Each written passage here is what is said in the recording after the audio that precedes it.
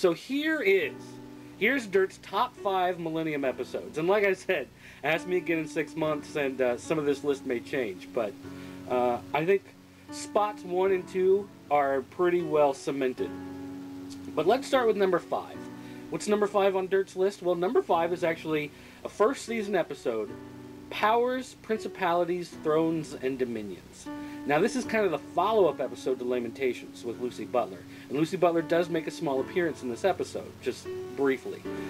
But the reason why I picked this one over Lamentations is that this really opens up the world of Millennium to much more of that struggle between good and evil versus angels and demons and Satan and God and all of that kind of really deep philosophical stuff. This is really where I think it, it, it grabbed a hold of the Millennium mythos and didn't let go. And this is one of those episodes that it just kind of says that, you know, if you're going to admit that there's really evil things out there, you also have to admit that there's some really great things in there. So if the devil exists, God has to exist. And I think that's kind of a, a fun little message for them to put out there to really kind of, you know, so many people focus on the dark and you have to have that light in order to balance it out. But again, tough picking between Lamentation and uh, you know powers, principalities, thrones, and dominions. But eh, you know, I I, I could I, I could see your point of picking the other one. I'm not going to fight you too much on that one. Number four, Midnight of the Century.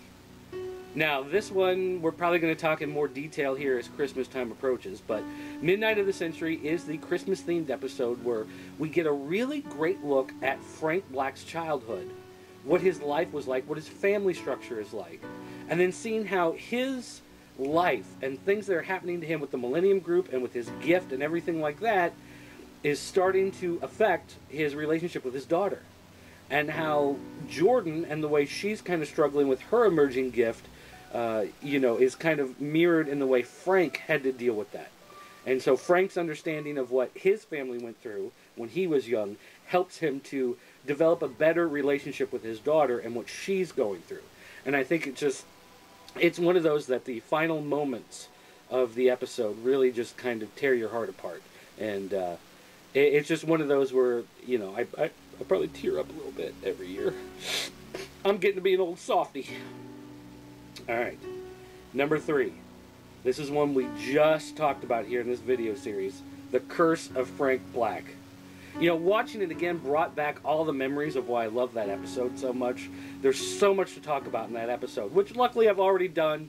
So if you want to hear about it, you can go check that out. But Halloween episode, it's a great episode. A lot of neat stuff. A lot of great, uh, you know, Millennium beats get hit in this one. From you know, what's really the goal of the Millennium Group to who's trying to talk to him from you know, is it God? Is it the devil? Is it demons? You know, what what's he really dealing with here? A lot of neat stuff going on, and I really like that one. Now, my number two spot is actually kind of a cheat, but uh, Troy Foreman said I could get away with it, so you got a problem, you can take it up with him. I think Rhonda backed me up on this one too. Owls and Roosters in my number two spot. Yeah, it's two episodes, but you know what? They go back to back. It's a two part episode, so you really can't single out one part of the episode and not do the other one. And my gosh, did this blow my mind when I was watching the show originally.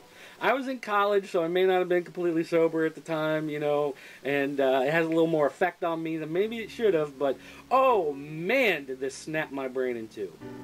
Everything about the Millennium Group, about their involvement in international politics, their involvement in religion, their involvement in, you know, prophecy, and uh, biblical truths and archaeological history, and oh my gosh, it, it's like I don't know, it's like 17 different National Geographic and Discovery Channel uh, specials mixed up in this great story of dealing with, uh, you know, who are these other groups that the Millennium Group may fight with? Um, you know, remnants of the Nazi regimes and whatnot. But I mean, gosh, within the Millennium Group, there's a great divide. There's this religious sect and the scientific sect, and they're fighting with each other and, and there's so many things in this two part episode that if they started right now on a Millennium movie, they could use those threads to set up the perfect storyline for next year. So if there's any reason why you're holding out on doing a Millennium movie, 20th Century Fox, if you happen to be listening, I want to hear your excuses because this is the time. The time is now. And here's where your storyline is going to begin. So I didn't put that as my number one spot, my, my, my number one favorite episode.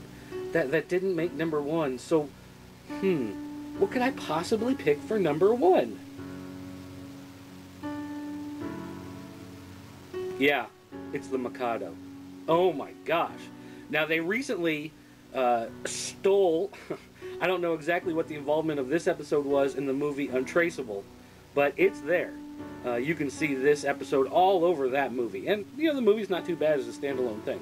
But this episode, for me, being the nerd that I am, being into the type of things I am, you know, at the time I was in college when this episode came out, and you know we had just gotten our high-speed uh, ISDN lines. We were pulling up, uh, you know, a full 128k download speed. It was awesome. And so here's this episode that it's technology centric. You've got this guy dealing with websites. There's IP addresses. They're they're pulling out packets and whatever, and and all of it worked. Like every time they would bring up something that's technology, I'm so used to shows where where they go, "Hey, can you enhance this part of the screen?" And the people go, "Sure." And they go tick tick tick tick on the keyboard, and you see the little mouse pointer come in and zoom in on something, and it's like how it's like they're not even thinking about the technology being involved, and and this this got it right. Not only that, but there's great stuff in there with Roedecker and Watts and some of the stuff that they deal with, their conversations, their dialogue. There's also this great segment where they're they're trying to track down the killer, so they're in different parts of the country. So Frank's sitting there with a satellite uplink, and he's trying to get in the mind of the killer, and not being there, being disconnected, is having a hard time with his gift. He, he can't really get a read on it, and, and it's gory. There's decapitated heads being found. There's people being murdered, uh, uh, you know, on these websites. Uh, I, I mean, it's just it's great, and the music and everything. Oh gosh. I mean, that's. Why am I talking to you guys? You know what? I'm gonna go watch that episode again right now. In fact, uh, where's my?